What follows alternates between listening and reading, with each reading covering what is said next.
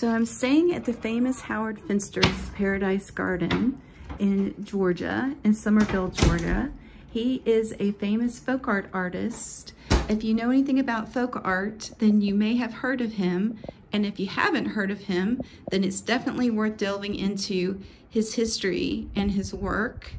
He's known for a lot of religious background in his art because he was a minister and you can hear recordings of his preaching when you go into part of his paradise garden, which I'm going to be doing later today and tonight. Because when you stay at the Airbnb, which is where I'm at now, you can have access to the gardens at nighttime, which is fascinating to me. There's also two cats that reportedly live on the property named Calvin and Hobbes. And being the huge cat lover that I am, as you all may know from my Instagram or Facebook or blog, then you know that that's going to be a highlight for me tonight to meet them.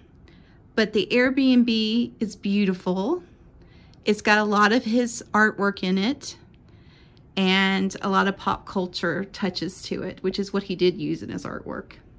So I'm looking forward to bringing you information about the garden and also showing you the images.